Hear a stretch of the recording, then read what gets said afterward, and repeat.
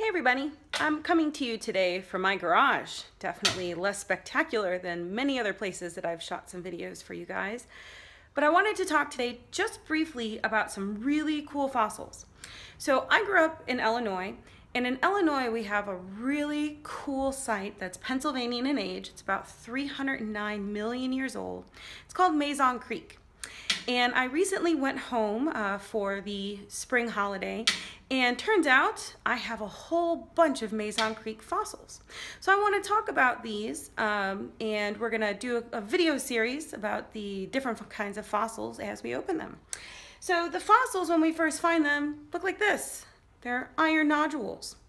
Inside of the iron nodule is the fossil. So how does this form?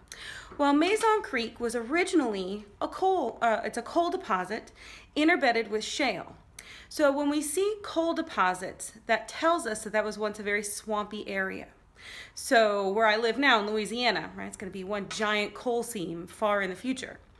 Um, but when we see that shale, that tells us sea level rose, flooded out the forest, and deposited that finer sediment. Now, later on, when humans came around, we obviously like to use the coal. So in the Mazon Creek region, what they did is strip mining. So they would kind of take off that layer of shale to expose the coal, dump all that shale in, a, in an area. And that's where you find these, okay, in the, in the shale deposits. So unfortunately, we can't really tell exactly um, where inside of those different coal shale layer beds that these Mazon Creek fossils belong, but we do know they, they belong within that interbedded region 309 million years ago. So Inside of here, like I said, is a fossil. So what would happen is you would have a little invertebrate or a plant that would die. It would float down to the bottom of the, the swamp and what it would do is the sediment that would be flushed in would attach itself to the biological part and then iron carbonates, siderite, would attach itself around it. So you form this really hard nodule. Now, most times um, people would just take their hammer and kind of chisel these open because you've got a plane of weakness on the inside. Don't mind my little guys playing with the rocks there.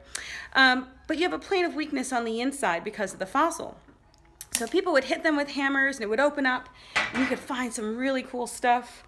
Here's one uh, that's been opened. You can see a plant there. It's, it's really, let's see if I can get a little bit closer. It's really quite amazing. Again, remember this is 309 million years old. Um, but in my opinion, what's the best way to do this is to do uh, help speed up the natural process.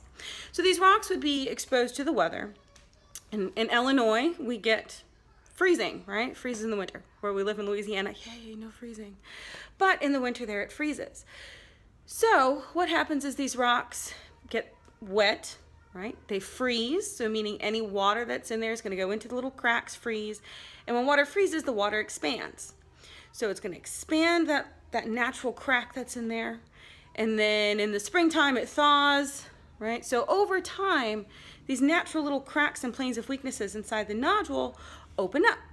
So I have, you can see my little guy there digging through the bucket. I've got about a third of a bucket. Are you saying hi, Henry?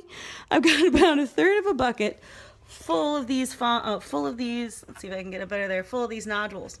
So what we're gonna do is, thank you, Henry, is we're gonna take these nodules and we're going to put them in a container and we're gonna put them in the freezer.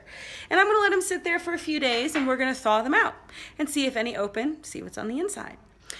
Now what makes Mazon Creek really important is Mazon Creek is a Lagerstätten which doesn't isn't just a cool name for maybe a, German beer.